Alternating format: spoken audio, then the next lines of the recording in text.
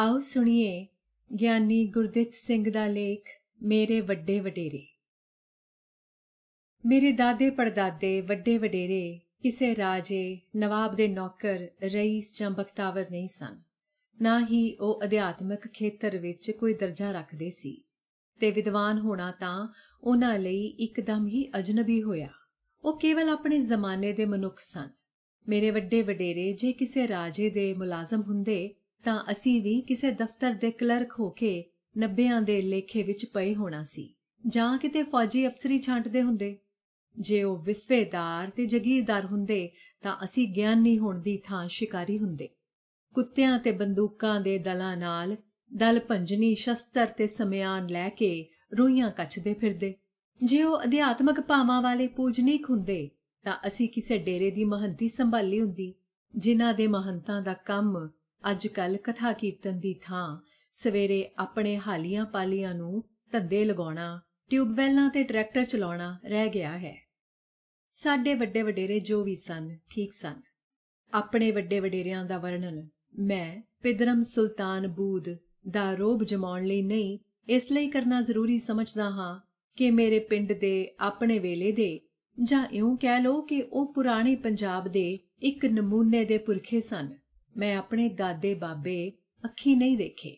ਉਹਨਾਂ ਦੀਆਂ ਕਹਾਣੀਆਂ ਹੀ ਕੰਨੀ ਸੁਣੀਆਂ ਨੇ ਤੇ ਉਹ ਕਥਾਵਾਂ ਹੁਣ ਵੀ ਮੇਰੇ ਪਿੰਡ ਦੇ ਕਿਸੇ ਵੀ ਪੁਰਾਣੇ ਆਦਮੀ ਤੋਂ ਸੁਣੀਆਂ ਜਾ ਸਕਦੀਆਂ ਹਨ। ਜਦੋਂ ਮੈਂ ਪਿੰਡ ਰਹਿੰਦਾ ਹੁੰਦਾ ਸੀ ਤਾਂ ਮੇਰੀਆਂ ਪਾਈਆਂ ਗੁੱਦੀਆਂ ਹੱਡੀਆਂ ਤੇ ਇਕਹਿਰੇ ਕਰੰਗੇ ਵਾਲਾ ਜੁੱਸਾ ਦੇਖ ਕੇ ਪਿੰਡ ਦੇ ਪੁਰਾਣੇ ਲੋਕ ਕਿਹਾ ਕਰਦੇ ਸਨ? ਵੇਖਾਂ ਕਾਗਜ਼ੀ ਪਹਿਲਵਾਨ। ਕਿਵੇਂ ਕੁੱਲ ਨੂੰ ਲੀਕ ਲਾਉਣ ਵਾਲਾ? ਇਹ ਬਾਬਿਆਂ ਦੇ ਘਰ ਨਕਵਾਇਆ ਪੁੱਤ ਜੰਮ ਪਿਆ ਏ। ਜੇ ਅੱਜ ਇਸ ਤੇ ਦਾਦੇ ਬਾਬੇ ਆ ਕੇ ਦੇਖਣ ਵਈ ਸਾਡੀ ਔਲਾਦ ਵਿੱਚ ਇਹ ਵੀ ਇੱਕ ਚੰਨ ਚਰਾਗ ਹੈ, ਤਾਂ ਦੋ ਹੱਥੜੀ ਪਏ ਪਿੱਟਣ। ਕਿੱਥੇ ਉਹ ਦਿਵਾਂ ਜੇਡੇ ਵੱਡੇ ਕੱਦ ਕਾਠ ਵਾਲੇ ਬੰਦੇ? ਕਿੱਥੇ ਇਹ ਬਲੂੰਗੜਾ ਪਹਿਲਵਾਨ? ਮੇਰੇ ਵੱਡੇ ਵਡੇਰਿਆਂ ਦੀਆਂ ਕਈ ਮਜ਼ੇਦਾਰ ਕਹਾਣੀਆਂ ਹਨ, ਜਿਨ੍ਹਾਂ ਨੂੰ ਪਿੰਡ ਦੇ ਸਿਆਣੇ ਲੋਕ ਤੇ ਗਾਲੜੀ, ਚਟਖਾਰੇ ਲਾਲਾ ਸੁਣਾਇਆ ਕਰਦੇ ਹਨ। ਮੇਰੇ ਦਾਦੇ ਚਾਰ ਭਰਾ ਸਨ। ਦਾਸ, ਪੁੰਨੂ, ਰਾਮਦਿੱਤਾ ਤੇ ਸਾਹਿਬ ਸਿੰਘ। ਚਾਰੇ ਭਰਾ ਕੱਦ ਵੱਲੋਂ ਇੰਨੇ ਨਰੋਏ ਤੇ ਵੱਡੇ, ਰੱਜ ਕੇ ਖਾਣ ਤੇ ਦੱਬ ਕੇ ਵਾਉਣ ਵਾਲੇ ਇਹੋ ਜਿਹੇ ਕਿ ਆਸ-ਪਾਸ ਦੇ ਪਿੰਡਾਂ ਲਈ ਹਵਾ ਬਣੇ ਹੋਏ ਸਨ। ਲੋਕ ਆਖਦੇ ਹੁੰਦੇ ਸਨ ਕਿ ਜਿਸ ਖੇਤ ਦੇ ਵਿੱਚੋਂ ਦੀ ਇਹ ਚਾਰੇ ਬਾਬੇ ਲੰਘ ਜਾਣ, ਉਸ ਖੇਤ ਵਿੱਚ ਡੰਡੀ ਆਪੇ ਹੀ ਪੈ ਜਾਂਦੀ ਹੈ। ਸਾਡੇ ਵੱਡਿਆਂ ਦਾ ਨੇੜੇ ਦੇ ਪਿੰਡ ਛਾਪੇ ਖੂਨ ਦਾ ਰਿਸ਼ਤਾ ਹੋਣ ਕਰਕੇ ਵਰਤ ਵਰਤਾਰਾ ਸੀ। ਉਹਨਾਂ ਨੇ ਇੱਕ ਵਿਆਹ ਸਮੇਂ ਮੇਰੇ ਦਾਦਿਆਂ ਨੂੰ ਰੋਟੀ ਉੱਤੇ ਸੱਦਿਆ। ਉਹ ਉਸ ਦਿਨ ਰੋਹੀ ਵਿੱਚ ਹਲਵਾਉਂਦੇ ਸੀ। ਉਥੋਂ ਹੀ ਬਲਦ ਪਿੰਡ ਨੂੰ ਤੋਰ ਕੇ ਸਿੱਧੇ ਦੁਪਹਿਰ ਦੀ ਰੋਟੀ ਵੇਲੇ ਨੂੰ ਪਿੰਡ ਛਾਪੇ ਜਾ ਪੁੱਜੇ। ਅੱਗੋਂ ਵਿਆਹ ਵਾਲਿਆਂ ਨੇ ਮੇਲ ਗੇਲ ਲਈ ਇੱਕ ਕੜਾਹਾ ਗੁੜ ਦੇ ਪ੍ਰਸ਼ਾਦ ਦਾ ਕੱਢਿਆ ਹੋਇਆ ਸੀ। ਅਗਲਿਆਂ ਨੇ ਕਿਹਾ, ਪਹਿਲਾਂ ਸ਼ਰੀਕੇ ਨੂੰ ਖਵਾ ਲਈਏ। ਸਾਡੇ ਬਾਬੇ ਕੜਾਹ ਖਾਣ ਲਈ ਪਹਿਲਾਂ ਹੀ ਬੈਠ ਗਏ। ਚਾਰੇ ਭਾਈ ਜੋ ਨੀਵੀ ਪਾ ਕੇ ਖਾਣ ਲੱਗੇ, ਪ੍ਰਸ਼ਾਦ ਦਾ ਸਾਰਾ ਕੜਾਹਾ ਸਮੇਟ ਛੱਡਿਆ। ਉਹਨਾਂ ਦੇ ਵਰਤਾਵਿਆਂ ਨੇ ਬਥੇਰਾ ਇੱਧਰ ਉੱਧਰ ਦੇਖਿਆ ਵਈ ਕਿਧਰੇ ਇਹ ਕੜਾ ਪ੍ਰਸ਼ਾਦ ਕਿਸੇ ਚੀਜ਼ ਵਿੱਚ ਸੁੱਟੀ ਤਾਂ ਨਹੀਂ ਜਾ ਰਹੇ? ਪਰ ਉਹਨਾਂ ਦੇ ਕੱਦ ਕਾਠ ਤੇ ਖੁਰਾਕ ਹੀ ਇੰਨੀ ਸੀ ਕਿ ਜੇ ਇੱਕ ਕੜਾਹਾ ਹੋਰ ਬਣਿਆ ਹੁੰਦਾ ਅੱਧ ਪਚੱਦ ਉਸ ਵਿੱਚੋਂ ਕਿਹੜਾ ਨਾ ਚਰ ਜਾਂਦੇ। ਸਾਡੇ ਉਹਨਾਂ ਸੰਬੰਧੀਆਂ ਨੇ ਇਹਨਾਂ ਮਹਾਨ ਪੁਰਖਾਂ ਦੀ ਇਹ ਕਰਨੀ ਕਮਾਈ ਦਾ ਧਿਆਨ ਧਰ ਕੇ ਫੈਸਲਾ ਕਰ ਲਿਆ ਕਿ ਅੱਗੇ ਨੂੰ ਇਹਨਾਂ ਦੇ ਨਾ ਕਦੇ ਵਿਆਹ ਸ਼ਾਦੀ ਤੇ ਜਾਣਾ ਹੈ ਤੇ ਨਾ ਹੀ ਇਹਨਾਂ ਨੂੰ ਮੁੜ ਕੇ ਸੱਦਣਾ ਹੈ। ਜਦੋਂ ਮੇਰੇ ਜਿਹੇ ਛਟਾਕੀਆਂ ਖਾਣ ਵਾਲੇ ਕੁੱਲ ਵਿੱਚ ਚੰਨ ਚਿਰਾਗ ਪ੍ਰਗਟ ਹੋਏ, ਫੇਰ ਜਾ ਕੇ ਪੀੜੀਆਂ ਦੀ ਟੁੱਟੀ ਗੰਢੀ ਗਈ। ਖਾਣ ਪੀਣ ਦੇ ਪੱਖ ਨਾਲੋਂ ਵੱਧ ਪ੍ਰਸਿੱਧੀ ਉਹਨਾਂ ਦੀ ਜ਼ੋਰਾਵਰੀ ਦੀ ਵਧੇਰੇ ਮਸ਼ਹੂਰ ਸੀ। ਲੋਕ ਗੱਲਾਂ ਸੁਣਾਉਂਦੇ ਹਨ। ਪੁਰਾਣੇ ਸਮੇਂ ਵਿੱਚ ਪਹਿਲਵਾਨ ਢੋਲ ਵਾਲੇ ਨੂੰ ਨਾਲ ਲੈ ਕੇ ਦਿਗ ਵਿਜੇ ਦਾ ਝੰਡਾ ਫੜ ਕੇ ਚੜ੍ਹਦੇ ਹੁੰਦੇ ਸੀ।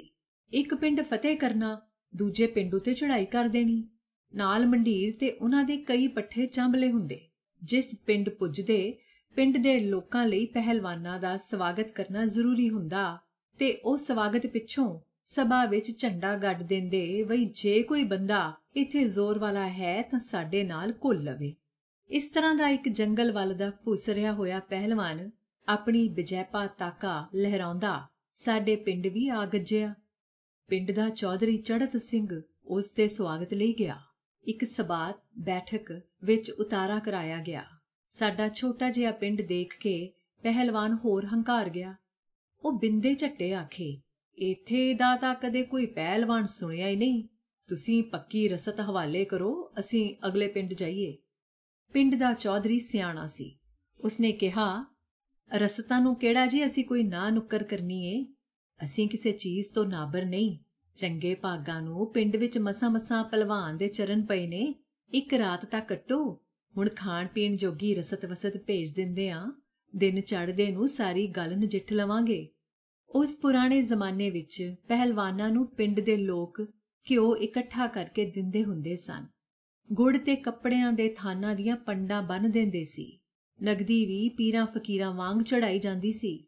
ਇਹ ਪਹਿਲਵਾਨ ਪਿੰਡਾਂ ਤੋਂ ਕਾਫੀ ਸਮੱਗਰੀ, ਘਿਓ ਤੇ ਕਈ ਤਰ੍ਹਾਂ ਦੇ ਬਦਾਮ ਆਦ, ਮੇਵੇ ਤੇ ਹੋਰ ਗੁੜ ਗੰਢ ਪੂਰੇ ਗੱਡੇ ਦਾ ਲੱਦ ਇਕੱਠਾ ਕਰੀ ਨਾਲੋਂ ਨਾਲ ਚੁੱਕੀ ਫਿਰਦਾ ਸੀ।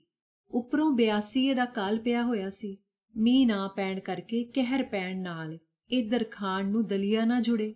ਪਹਿਲਵਾਨ ਨੇ ਆ ਕੇ ਪੱਕੀ ਰਸਤ ਦੀ ਨਵੀਂ ਚੱਟੀ ਲਗਾ ਦਿੱਤੀ। ਪੱਕੀ ਰਸਤ ਘੱਟੋ ਘੱਟ ਧੜੀ ਘਿਓ ਇੰਨੀ ਹੀ ਖੰਡ ਬਦਾਮ ਤੇ ਹੋਰ ਸਿੱਧਾ ਬਾਦਾ ਹੁੰਦਾ ਸੀ। ਰਸਤ ਤਾਂ ਦੇਣੀ ਇੰਨੀ ਔਖੀ ਸ਼ਾਇਦ ਕਾਲ ਵੇਲੇ ਵੀ ਨਾ ਮੰਨੀ ਜਾਂਦੀ, ਪਰ ਪਿੰਡ ਦੀ ਹਲੱਤਣ ਹੱਤਕ ਚੱਲਣੀ ਬਹੁਤ ਔਖੀ ਸੀ। ਪਹਿਲਵਾਨਾਂ ਦੇ ਜਥੇ ਨੂੰ ਰਾਤ ਨੂੰ ਰਸਤੇ ਦੇ ਕੇ ਚੜਤ ਸਿੰਘ ਚੌਧਰੀ ਬਾਬੇ ਪੁੰਨੂ ਕੋਲ ਆਇਆ। ਪਿੰਡ ਦੇ ਚੌਧਰੀ ਨੂੰ ਘਰੇ ਆਇਆ ਦੇਖ ਕੇ ਬੈਠਣ ਲਈ ਪੀੜੀ ਦਿੱਤੀ ਤੇ ਪੁੱਛਿਆ, ਚੌਧਰੀ, ਅੱਜ ਕਵੇਲੇ ਕਿਵੇਂ ਆਉਣਾ ਹੋਇਆ? ਚੌਧਰੀ ਨੇ ਸਾਰੀ ਗੱਲ ਸੁਣਾਈ ਤੇ ਪਿੰਡ ਦੀ ਇੱਜ਼ਤ ਦਾ ਵਾਸਤਾ ਪਾ ਕੇ ਕਿਹਾ, ਬਾਬਾ, ਤੂੰ ਹੀ ਲਾਜ ਰੱਖ ਸਕਦਾ ਹੈ, ਬਸ ਮੈਨੂੰ ਇੱਕ ਵਾਰੀ ਹਾਂ ਕਰ ਦੇ।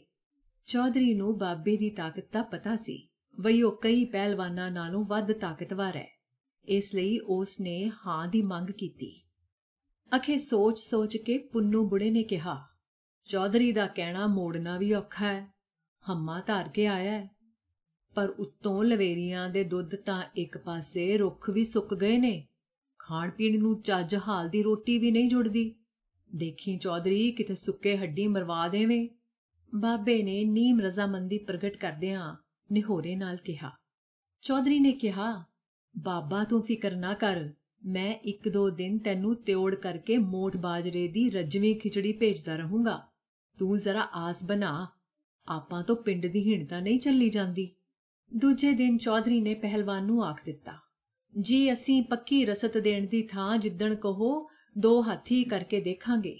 ਪਿੰਡ ਦੀ ਹਲੱਤਣ, ਲੋਕ ਕਹਿੰਦੇ ਨੇ ਜੀ ਸਾਥੋਂ ਚੱਲੀ ਨਹੀਂ ਜਾਂਦੀ। ਦਿਨ ਬੰਨਿਆ ਗਿਆ। ਪਿੰਡ ਦੇ ਪਿੰਡ ਟੁੱਟ ਕੇ ਤਮਾਸ਼ਾ ਵੇਖਣ ਆ ਪਏ। ਬਹੁਤੀ ਹੈਰਾਨੀ ਇਹ ਵਈ ਟਿੱਡੇ ਜਿੱਡਾ ਪਿੰਡ, ਇਥੇ ਨਾਮੀ ਪਹਿਲਵਾਨ ਨਾਲ ਕਿਹੜਾ ਲੋਹਾ ਲੈਣ ਵਾਲਾ ਜੰਮ ਪਿਆ ਹੈ? ਚਲੋ ਦੇਖੀਏ ਤਾਂ ਸਹੀ। ਢੋਲ ਵੱਜਿਆ, ਛਿੰਝ ਮੱਗ ਗਈ। ਪਹਿਲਵਾਨ ਦਾ ਨਿਹਾਰੀਆਂ ਖਾ ਖਾ ਗੁੰਨਿਆ ਜਿਸਮ ਤੇ ਨਿਤ ਕਰਤਬੀ ਜੁੱਸਾ ਦੇਖ ਕੇ ਸਾਰੇ ਲੋਕ ਹੈਰਾਨ। ਵਈ ਇਸ ਚੁਸਤ ਜਵਾਨ ਨਾਲ ਕੌਣ ਘੁਲੇਗਾ? ਬਾਬਾ ਪੁੰਨੂ ਅਖਾੜੇ ਦੇ ਇੱਕ ਪਾਸੇ ਖੇਸ ਦੀ ਬੁੱਕਲ ਮਾਰੀ ਬੈਠਾ ਸੀ। ਪਹਿਲਵਾਨ ਅਖਾੜੇ ਵਿੱਚ ਗੇੜੇ ਮਾਰ-ਮਾਰ ਕੇ ਰੋਬ ਪਾਉਂਦਾ ਤੇ ਆਪਣੇ ਸਰੀਰ ਦੇ ਸੋਹਣੇ ਅੰਗ ਦਿਖਾਉਂਦਾ ਚਟਕਾਉਂਦਾ ਤੇ ਮਟਕਾਉਂਦਾ ਫਿਰਦਾ ਰਿਹਾ। ਜਦੋਂ ਅਖਾੜਾ ਜੰਮ ਗਿਆ, ਚੌਧਰੀ ਚੜਤ ਸਿੰਘ ਬਾਬੇ ਪੁੰਨੂ ਕੋਲ ਆਇਆ। ਮੱਥਾ ਟੇਕ ਕੇ ਕਿਹਾ, ਬਾਬਾ, ਰੱਖ ਪਿੰਡ ਦੀ ਪੱਤ। ਰੱਬ ਤੇਰੇ ਵਿੱਚ ਸੱਤ ਪਾਵੇ। ਬਾਬੇ ਨੇ ਖੇਸ ਲਾ ਕੇ ਅਖਾੜੇ ਵਿੱਚ ਛਾਲ ਮਾਰੀ। ਕਿੱਥੇ ਨਾਗ ਵਾਂਗ ਲਿਸ਼ਕਦੇ ਜਿਸਮ ਵਾਲਾ ਪਹਿਲਵਾਨ ਦਾ ਜੁੱਸਾ ਕਿੱਥੇ ਬਾਬਾ ਪੁੰਨੂ ਦਾ ਖੁਰਦੜਾ ਪਿੰਡਾ, ਜਿਸ ਦੇ ਪਿੰਡੇ ਨੂੰ ਤੇਲ ਦੀ ਤਿਪ ਵੀ ਨਹੀਂ ਛੋਈ ਹੋਈ ਸੀ। ਪਹਿਲਾਂ ਤਾਂ ਬਾਬੇ ਪੁੰਨੂ ਨੂੰ ਦੇਖ ਕੇ ਪਹਿਲਵਾਨ ਖਿੜਖੜਾ ਕੇ ਹੱਸਿਆ, ਫਿਰ ਰਹਿਮ ਦੇ ਘਰ ਆ ਕੇ ਬੋਲਿਆ, ਕਿਉਂ ਵਿਚਾਰੇ ਗਰੀਬ ਕਬੀਲਦਾਰ ਬੰਦੇ ਨੂੰ ਮਰਵਾਉਣ ਲੱਗੇ ਹੋ? ਪਹਿਲਵਾਨ ਨੂੰ ਕੱਢੋ ਜੇ ਦੋ ਹੱਥ ਕਰਨੇ ਹਨ। ਬਾਬੇ ਪੁੰਨੂ ਨੇ ਧੀਰਜ ਨਾਲ ਕਿਹਾ, ਕੋਈ ਨਾ ਭਾਈ, ਪਹਿਲਵਾਨ ਕਦੇ ਫੇਰ ਕੱਢਾਂਗੇ ਪਹਿਲਾਂ ਤੂੰ ਮੇਰੇ ਅੱਖੜ ਜਿਹੇ ਬੰਦੇ ਨਾਲ ਹੀ ਦੇਖ ਲੈ। ਇੱਕ ਦੋ ਅਰੰਭਕ ਹੱਥ ਕਰਨ ਪਿੱਛੋਂ ਬਾਬੇ ਪੁੰਨੂ ਨੇ ਪਹਿਲਵਾਨ ਦੀ ਠੋਡੀ ਹੇਠਾਂ ਕੂਣੀ ਦਾ ਹੋੜਾ ਦੇ ਕੇ ਮਗਰੋਂ ਗਰਦਨ ਵੱਲੋਂ ਵਲੇਵੇਂ ਨਾਲ ਉਤਾਂ ਨੂੰ ਉਗੀਸ ਕੇ ਪਹਿਲਵਾਨ ਨੂੰ ਬਾਹਾਂ ਉੱਤੇ ਧਰਤੀ ਤੋਂ ਉੱਪਰ ਵੱਲ ਨੂੰ ਅਜਿਹਾ ਚੱਕਿਆ ਕਿ ਉਸ ਦੇ ਪੈਰ ਧਰਤੀ ਉੱਤੇ ਨਾ ਲੱਗਣ। ਸਾਰਾ ਭਾਰ ਮੂੰਹ ਦੀ ਠੋਡੀ ਤੇ ਗਰਦਨ ਉੱਤੇ ਆ ਪਿਆ। ਥੋੜੇ ਚਿਰ ਪਿੱਛੋਂ ਜਦੋਂ ਉਸ ਦੇ ਅੱਖਾਂ ਦੇ ਆਂਡੇ ਬਾਹਰ ਆਉਣ ਲੱਗੇ, ਸਿਰ ਚਕਰਾਇਆ ਤੇ ਲੱਗਾ ਘੋਰੜੂ ਵੱਜਣ। ਪਹਿਲਵਾਨ ਸਾਹਿਬ ਦੇ ਸਾਥੀ ਲੱਗੇ ਤੌਰ ਪੌਰ ਹੋ ਕੇ ਦੇਖਣ। ਮਸਾ ਮਸਾ ਇਸ਼ਾਰਿਆਂ ਨਾਲ ਜਾਨ ਬਖਸ਼ਾਉਣ ਦੇ ਵਾਸਤੇ ਪਾ ਕੇ ਪਹਿਲਵਾਨ ਨੇ ਖੇੜਾ ਛੁਡਾਇਆ। ਬਾਬੇ ਪੁੰਨੂ ਨੇ ਲੋਕਾਂ ਨੂੰ ਕਿਹਾ, ਦੇਖੋ ਭਾਈ, ਅਸੀਂ ਹਾਲਾਂ ਘੁਲੇ ਨਹੀਂ। ਇਸ ਪਹਿਲਵਾਨ ਨੂੰ ਕਹੋ, ਜਿੰਨਾ ਚਿਰ ਇੱਕ ਜਣਾ ਪੁੱਠਾ ਸਿੱਧਾ ਨਹੀਂ ਹੋ ਜਾਂਦਾ ਉਤਨਾ ਚਿਰ ਕੁਸ਼ਤੀ ਪੂਰੀ ਨਹੀਂ ਹੁੰਦੀ। ਲੋਕ ਉਸ ਪਹਿਲਵਾਨ ਨੂੰ ਘੇਰ ਕੇ ਅਖਾੜੇ ਵੱਲ ਖਿੱਚਣ ਤੇ ਉਹ ਉਥੋਂ ਭੱਜਣ ਦੇ ਰਾਹ ਲੱਭੇ। ਆਖਰ ਦਿਨ ਛਿਪਦੇ ਤੋਂ ਪਹਿਲਾਂ ਆਪਣਾ ਲੁੰਗ ਲਾਣਾ ਛੱਡ ਕੇ ਪੱਤਰਾ ਵਾਜ ਗਿਆ। ਬਾਬੇ ਪੁੰਨੂ ਦੀ ਜੈ ਦੀ ਧੁਨੀ ਲੋਕਾਂ ਦੇ ਦਿਲਾਂ ਵਿੱਚ ਕਈ ਵਰੇ ਗੂੰਜਦੀ ਰਹੀ। ਇੱਕ ਵਾਰ ਦੀ ਗੱਲ ਹੈ ਇੱਕ ਪੁਰਾਣੇ ਸ਼ਹਿਤੂਤ ਦਾ ਦਰਖਤ ਹਨੇਰੀ ਨਾਲ ਜੜਾਂ ਤੋਂ ਉਖੜ ਕੇ ਰਾਹ ਵਿਚਾਲੇ ਡਿੱਗ ਪਿਆ। ਉਸ ਦੀਆਂ ਜੜਾਂ ਧਰਤੀ ਤੋਂ ਉਖੜ ਕੇ ਬਾਹਰ ਆ ਗਈਆਂ, ਪਰ ਵਿੱਚੋਂ ਅਲੱਗਾ ਨਾ ਹੋਣ। ਦਰਖਤ ਰਾਹ ਵਿੱਚ ਅੜਿੱਕਾ ਬਣ ਕੇ ਪੈ ਗਿਆ। ਸਾਡਾ ਇੱਕ ਬੁੱਢਾ ਬਾਬਾ ਉਧਰ ਲੰਘ ਰਿਹਾ ਸੀ। ਸ਼ਹਿਤੂਤ ਕੋਲ ਖੜੇ ਇੱਕ ਦੋ ਬੰਦੇ ਸੋਚ ਰਹੇ ਸੀ ਵਈ ਇਸ ਦੇ ਬੜਾਂਗ ਨੂੰ ਪਹਿਲਾਂ ਛਾਂਗੀਏ ਜਾਂ ਜੜਾਂ ਦੇ ਤਣੇ ਵੱਢੀਏ, ਤਾਂ ਜੋ ਕਿਵੇਂ ਛੇਤੀ ਰਾਹ ਬਣੇ ਤੇ ਲਾਂਘਾ ਹੋਵੇ? ਪੋਲੋਂ ਦੀ ਲੰਘਿਆ ਜਾਂਦਾ ਬਾਬਾ ਦੇਖ ਕੇ ਪੁੱਛਣ ਲੱਗੇ।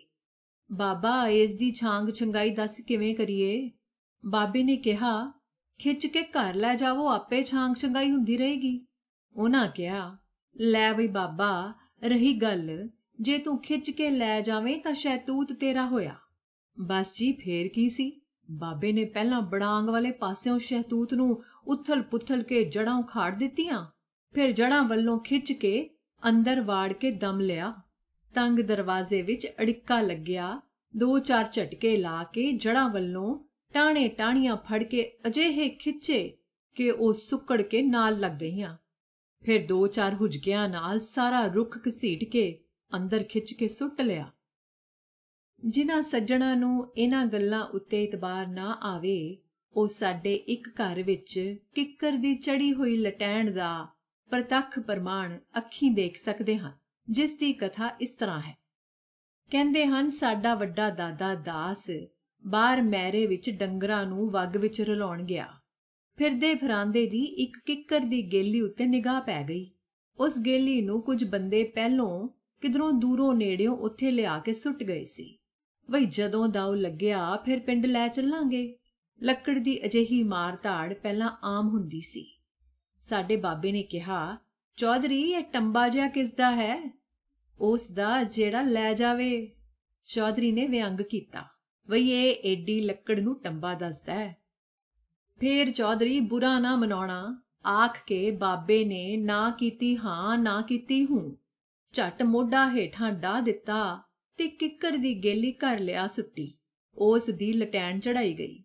80 90 ਵਰੇ ਪਿੱਛੋਂ ਪਿਛਲੇ ਸਾਲੀ ਉਹ ਸੁੱਕੀ ਪੱਕੀ ਤੱਚ ਮੁੱਛ ਕੇ ਹੌਲੀ ਹੋਈ ਲਟੈਣ। ਜਦੋਂ ਚੜਾਈ ਗਈ ਤਾਂ ਪਿੰਡ ਦੇ ਚੋਣਵੇਂ 8-10 ਗੱਭਰੂ ਇਕੱਠੇ ਕਰਨੇ ਪਏ। ਉਹ ਰਲ ਕੇ ਲਟੈਣ ਚੜਾਉਣ ਨਾਲੇ ਬਾਬਿਆਂ ਦੇ ਗੁਣ ਗਾਉਣ। ਬਈ ਦੇਖੋ, ਹੁਣ ਸਾਰੇ ਪਿੰਡ ਦੇ ਚੋਣਵੇਂ ਮੁੰਡੇ ਲੱਗੇ ਹਨ। ਬਾਬਾ ਪਤਾ ਨਹੀਂ ਕਾਹਦਾ ਬਣਿਆ ਹੋਇਆ ਸੀ, ਜਿਹੜਾ ਇਕੱਲਾ ਹੀ ਇਹ ਗੇਲੀ ਚੁੱਕ ਲਿਆਇਆ ਸੀ। ਇਕੱਲੇ ਬਾਬਿਆਂ ਦੀਆਂ ਗੱਲਾਂ ਹੀ ਨਹੀਂ, ਉਹਨਾਂ ਦੀਆਂ ਭੈਣਾਂ ਵੀ ਅਜਈਆਂ ਸੀ। ਕਹਿੰਦੇ ਇੱਕ ਵਾਰ ਸਾਡੇ ਘਰ ਦੇ ਸਾਰੇ ਜੀ ਜਦੋਂ ਬਾਹਰ ਜਵਾਰ ਦੇ ਸਿੱਟੇ ਡੁੰਗਦੇ ਸੀ, ਉਹਨਾਂ ਦੀ ਛੋਟੀ ਭੈਣ ਰੋਟੀ ਲੈ ਕੇ ਗਈ। ਆਉਂਦੀ ਹੋਈ ਡੁੰਗੇ ਹੋਏ ਸਾਰੇ ਸਿੱਟਿਆਂ ਦੀ ਪੰਡ ਬੰਨ ਲਿਆਈ। ਜਦੋਂ ਉਹ ਸਿੱਟੇ ਕੁੱਟ ਕੇ ਸਾਰੀ ਜਵਾਰ ਜੋਖੀ, ਤਾਂ ਪੰਜ ਮਣ ਕੱਚੀ ਹੋਈ। ਬਾਕੀ ਨਿੱਕ ਸੁੱਕ ਅਣਜੋਖਿਆ ਹੀ ਪਰੇ ਸੁੱਟ ਦਿੱਤਾ। ਬਾਬਿਆਂ ਦੀ ਇੱਕ ਭੈਣ ਪਿੰਡ ਚੜਿੱਕ ਵਿੱਚ ਵਿਆਹੀ ਹੋਈ ਸੀ। ਪਹਿਲਾਂ ਪਹਿਲ ਸਹੁਰੇ ਗਈ ਤਾਂ ਸ਼ਾਮ ਨੂੰ ਬਾਹਰ ਜਾਣ ਵੇਲੇ ਰਾਹ ਵਿੱਚ ਇੱਕ ਪਹਿਲਵਾਨ ਮੁਗਦਰ ਚੁੱਕਦਾ ਦੇਖਿਆ। ਵਾਪਸ ਘਰ ਆਉਣ ਵੇਲੇ ਅਖਾੜਾ ਵਿਜੜ ਚੁੱਕਾ ਸੀ। ਬਾਬਿਆਂ ਦੀ ਭੈਣ ਨੇ ਆਪਣੀ ਸੱਸ ਨੂੰ ਪੁੱਛਿਆ, ਅੰਮਾ, ਇੱਥੇ ਮੁੰਡੇ ਜੇ ਕੀ ਕਰਦੇ ਸੀ? ਧੀਏ, ਇਹ ਮੁਗਦਰ ਚੱਕਦੇ ਸੀ। ਪਿੰਡ ਦਾ ਇੱਕ ਪਹਿਲਵਾਨ ਬੜਾ ਨਰੋਆ ਹੈ। ਉਸ ਬਿਨਾ ਹੋਰ ਕੋਈ ਨੇੜੇ ਦੇ ਪਿੰਡ ਵਿੱਚ ਮੁਗਦਰ ਨੂੰ ਚੁੱਕ ਨਹੀਂ ਸਕਦਾ। ਬਾਕੀ ਲੋਕ ਦੂਰੋਂ ਨੇੜਿਓਂ ਉਸ ਨੂੰ ਦੇਖਣ ਆਏ ਹੋਏ ਸੀ। ਸਾਹਮਣੇ ਮੁਗਦਰ ਪਿਆ ਸੀ। ਅੰਮਾ ਜੀ ਐਸੇ ਨੂੰ ਮੁਕਦਰ ਆਖਦੇ ਹਨ? ਆਖ ਕੇ ਉਸਨੇ ਜਿਉਂ ਚੁੱਕਿਆ, ਨਾਲ ਲੱਗਦੇ ਖੋਲੇ ਵਿੱਚ ਵਗਾ ਸੁੱਟਿਆ। ਦਿਨ ਚੜਿਆ ਤਾਂ ਲੋਕ ਲੱਗੇ ਮੁਗਦਰ ਦੀ ਭਾਲ ਕਰਨ। ਆਖਰ ਨਾਲ ਦੇ ਖੋਲੇ ਵਿੱਚ ਮਿਲ ਗਿਆ। ਜਿਵੇਂ ਕਿਸੇ ਨੇ ਰਾਹ ਵਿੱਚ ਲੱਗਦਾ ਅੜਿੱਕਾ ਦੂਰ ਕਰਨ ਲਈ ਇੱਕ ਰੋੜਾ ਪਰੇ ਵਗਾ ਸੁੱਟਿਆ ਹੋਵੇ। ਇਸ ਤਰ੍ਹਾਂ ਮੁਗਦਰ ਪਿਆ ਦੇਖਿਆ ਤਾਂ ਚਾਰ ਪੰਜ ਜਣੇ ਰੇੜ ਕੇ ਮੁੜ ਉਥੇ ਲੈ ਆਏ। ਪਹਿਲਵਾਨ ਨੂੰ ਪਤਾ ਲੱਗਿਆ ਉਹ ਭਮੱਤਰ ਗਿਆ ਬਈ ਮੇਰੇ ਬਿਨਾ ਇਸ ਮੁਗਦਰ ਨੂੰ ਹਿਲਾਉਣ ਵਾਲਾ ਹੋਰ ਇੱਥੇ ਕੌਣ ਆ ਗਿਆ ਹੈ? ਦੂਜੇ ਦਿਨ ਫੇਰ ਸ਼ਾਮ ਨੂੰ ਜਦ ਤੀਵੀਆਂ ਬਾਹਰ ਗਈਆਂ ਮੁਗਦਰ ਉੱਥੇ ਪਿਆ ਦੇਖ ਕੇ ਕਿਹਾ, ਇਹ ਜਾਏ ਫੇਰ ਰਾਹ ਵਿੱਚ ਹੀ ਪਿਆ ਹੈ। ਆਖਦਿਆਂ ਆਖਦਿਆਂ ਬਾਬਿਆਂ ਦੀ ਭੈਣ ਨੇ ਇੰਨੇ ਜ਼ੋਰ ਦੀ ਵਗਾਇਆ ਕਿ ਅਗਲੇ ਖੋਲੇ ਦੀ ਕੰਧ ਟਹਿ ਗਈ। ਲੋਕਾਂ ਨੂੰ ਪਤਾ ਲੱਗ ਗਿਆ, ਪਹਿਲਵਾਨ ਦੀ ਖਾਨੇਓ ਗਈ। ਦੂਜੇ ਦਿਨ ਥਾਲੀ ਵਿੱਚ 101 ਰੁਪਏ ਤੇ ਇੱਕ ਸੁੱਚਾ ਤਿਉਰ ਲੈ ਕੇ ਪਹਿਲਵਾਨ ਆਇਆ ਤੇ ਬਾਬਿਆਂ ਦੀ ਭੈਣ ਨੂੰ ਨਜ਼ਰਾਨਾ ਪੇਸ਼ ਕਰਕੇ ਕਿਹਾ, ਚਾਚੀ, ਤੂੰ ਮੇਰੀ ਧਰਮ ਦੀ ਭੈਣ ਹੋਈ। ਧੰਨ ਤੂੰ, ਧੰਨ ਤੇਰੇ ਜਾਣਦੇ ਮੈਂ ਤਾਂ ਬਸ ਦਰਸ਼ਨਾਂ ਲਈ ਆਇਆ ਹਾਂ। ਵਈ ਅਜਿਹੀ ਸ਼ਕਤੀ ਵਾਲੀ ਦੇਵੀ ਇੱਥੇ ਕੌਣ ਹੈ? ਮੈਂ ਅੱਜ ਤੋਂ ਪਹਿਲਵਾਨੀ ਛੱਡੀ। ਕਹਿੰਦੇ ਜੀ, ਜਿਤਨਾ ਚਿਰ ਪਹਿਲਵਾਨ ਜਿਉਂਦਾ ਰਿਹਾ, ਹਰ ਇੱਕ ਤਿਥ ਤਿਉਹਾਰ ਉੱਤੇ ਬਾਬਿਆਂ ਦੀ ਭੈਣ ਨੂੰ ਤਿਉਰ ਤੇ ਕੱਪੜੇ ਲੀੜੇ ਚੜਾਉਂਦਾ ਰਿਹਾ। ਬਾਬਿਆਂ ਦੀ ਉਸ ਭੈਣ ਦੇ ਦੋ ਪੁੱਤ ਜਨਮੇ। ਕਹਿੰਦੇ ਦੁੱਧ ਰਿੜਕਣ ਵੇਲੇ ਉਹ ਦੋਹਾਂ ਨੂੰ ਕੋਲ ਸੱਦ ਲੈਂਦੀ ਤੇ ਜੋ ਮੱਖਣੀ ਨਿਕਲਦੀ ਅੱਧੋ ਅੱਧ ਵੰਡ ਕੇ ਖਵਾਉਂਦੀ। ਫਿਰ ਦੜਾਉਂਦੀ, ਨਸਾਉਂਦੀ ਤੇ ਜ਼ੋਰ ਕਰਾਉਂਦੀ। ਉਹਨਾਂ ਵਿੱਚੋਂ ਇੱਕ ਵੱਡਾ ਮੰਗਲ ਸਿੰਘ ਨਾਮੀ ਪਹਿਲਵਾਨ ਹੋਇਆ। ਉਹ ਆਪਣੇ ਮਾਮਿਆਂ ਨੂੰ ਮਿਲਣ ਲਈ ਮੇਰੇ ਪਿੰਡ ਆਇਆ। ਲੋਕਾਂ ਨੇ ਇੱਕ ਮਹੀਨੇ ਲਈ ਘੁਲਣ ਖੇਡਣ ਵਾਸਤੇ ਰੱਖ ਲਿਆ। ਉਹ ਸਵਾ ਸਵਾ ਮਣ ਦੀਆਂ ਮੂੰਗਲੀਆਂ ਫੇਰਿਆ ਕਰਦਾ ਸੀ। ਮਹੀਨਾ ਭਰ ਮੂੰਗਲੀਆਂ ਫੇਰਦਾ ਰਿਹਾ। ਸਾਰਾ ਪਿੰਡ ਦੇਖਣ ਜਾਂਦਾ। ਬਾਹਰੋਂ ਵੀ ਲੋਕ ਦੇਖਣ ਆਉਂਦੇ, ਪਰ ਮੇਰੇ ਬਾਬੇ ਹੁਰੀ ਨਾ ਗਏ। ਇੱਕ ਦਿਨ ਚੌਧਰੀ ਨੇ ਕਿਹਾ, ਬਾਬਾ ਥੋੜਾ ਭਾਣਜਾ ਆਇਆ ਹੋਇਆ ਕਿਸੇ ਦਿਨ ਉਸ ਦਾ ਕਰਤੱਵ ਦੇਖ ਕੇ ਹੌਸਲਾ ਅਫਜ਼ਾਈ ਤਾਂ ਕਰਾਵੋ ਬਾਬੇ ਨੇ ਕਿਹਾ, ਐਵੇਂ ਕਿਧਰੇ ਨਮੋਸ਼ੀ ਨਾ ਦਵਾ ਦੇਵੇ। ਚੰਗਾ ਕਿਸੇ ਦਿਨ ਆਵਾਂਗੇ। ਅਗਲੇ ਦਿਨ ਜਦੋਂ ਬਾਬਾ ਗਿਆ, ਤਾਂ ਉਸ ਦੇ ਪਹਿਲਵਾਨ ਭਾਣਜੇ ਦੇ ਮੂੰਹ ਤੇ ਲਾਲੀਆਂ ਆ ਗਈਆਂ। ਉਸਨੇ ਕਿਹਾ 20-25 ਸੇਰ ਦੇ ਅੱਜ ਹੋਰ ਦੋ ਸੰਗਲ ਮੂੰਗਲੀਆਂ ਨੂੰ ਬੰਨ ਦੇਵੋ। ਮੇਰਾ ਮਾਮਾ ਦੇਖਣ ਆਇਆ ਹੈ। ਜਦੋਂ ਉਸ ਨੇ ਸੰਗਲ ਬੰਨ ਕੇ ਮੂੰਗਲੀਆਂ ਫੇਰੀਆਂ, ਮਾਮੇ ਨੇ ਆਪਣੇ ਭਾਣਜੇ ਨੂੰ ਭੱਜ ਕੇ ਕੁਛੜ ਵਿੱਚ ਲੈ ਲਿਆ। ਪੁੱਤਰਾ, ਤੂੰ ਲਾਜ ਰੱਖੇਗਾ ਸਾਡੀ।